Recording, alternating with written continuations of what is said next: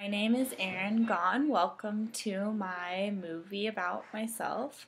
I grew, I was born and grew up in Phoenix, Arizona. Yes, it's extremely hot there. It gets up to 120 in the summer. You learn how to live with it after a while.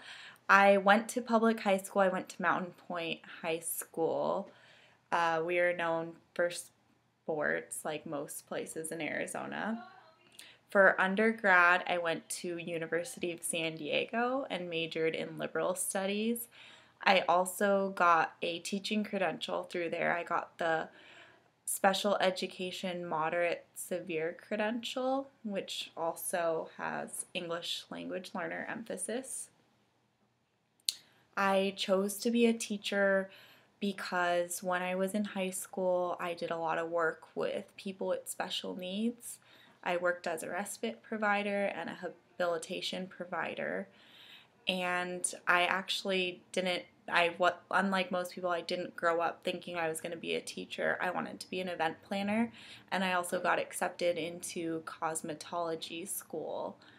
After I started thinking about my careers in either event planning or cosmetology, I began to realize that working with special needs might not be a big part of my life after I began these careers. And so I had a deep discussion with my grandmother who told me if I was so good at it and I loved it, I should make that my life.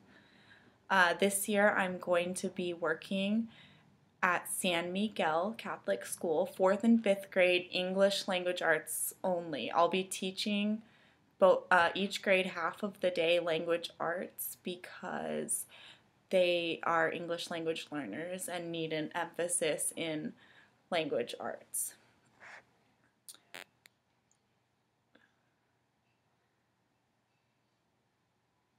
During teacher prep courses, I thought that a lot of it was repetitive at University of San Diego. There are a lot of classes that crossed with each other. And I guess that was both a positive and a negative, but there was a lot of crossover, and I'm assuming there probably will be in grad school as well.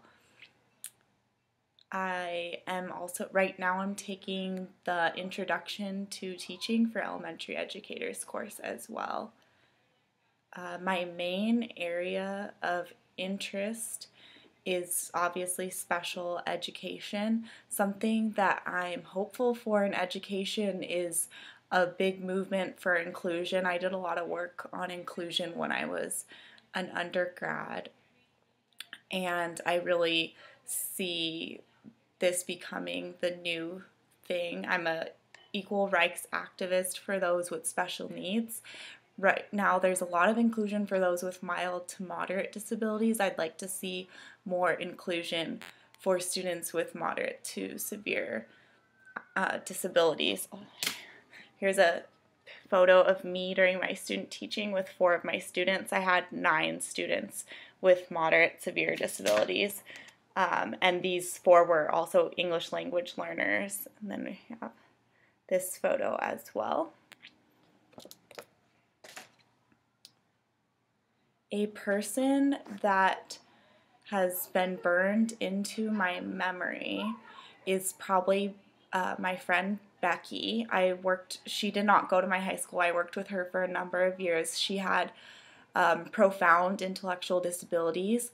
She was nonverbal. She used an electronic communication device to speak, and that sparked me, my interest in nonverbal communication. And I hope to eventually get a doctoral degree in speech language pathology and emphasize in assistive technology to help those who are nonverbal. My favorite book is The Great Gatsby. I love it. I think it's a classic. I can't wait for the movie to come out this Christmas. I've been hoping they're going to make a remake for a long time, so I'm very excited about the movie with Leonardo DiCaprio that's coming out. My favorite movie is Fight Club.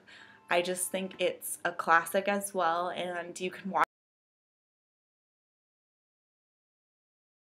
it over and over again and still find something new every time.